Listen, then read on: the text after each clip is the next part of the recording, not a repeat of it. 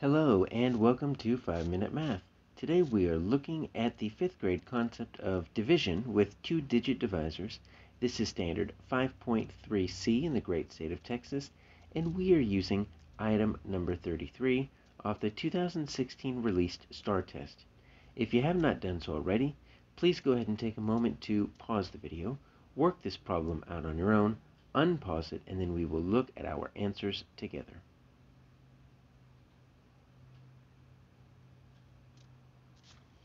So Tara has a box of 908 beads and she wants to put 15 beads on each bracelet. So each lets us know we have to deal with equal groups. So it's going to be multiply, multiplication or division.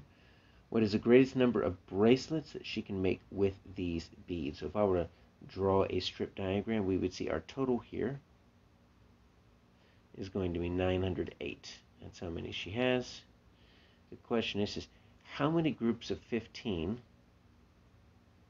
15 beads for a each of these bracelets, how many groups of 15 can she make? Well, I could count by 15s up to 908, but I think that might take me a while. So the easiest thing for me to do is going to be to go ahead and set this up as a division problem. Now, this is going to be just like regular division. We're going to follow the same steps, except as you can tell, our divisor here has got two digits. So 15 is going to be a little bit larger.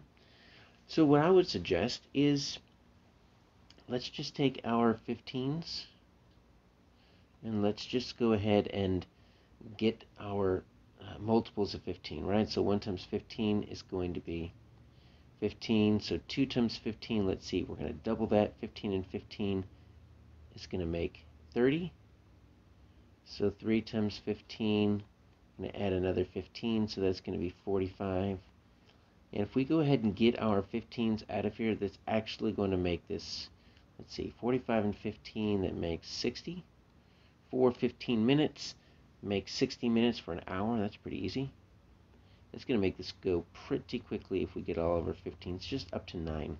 Because we always want to divide with a single each single digit in the dividend at a time. So let's see, add 15 to 60, that's going to be 75.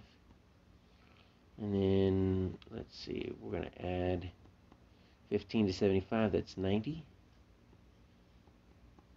We're going to add 15 to 90, that's 105. And if you can't do this mentally, you can always just use, you know, pencil and paper, keep adding these up. But I've got 120, so I've got my 15s up to 9 times 15, and then it's going to be 135. So I'm ready for anything that this problem can throw at me.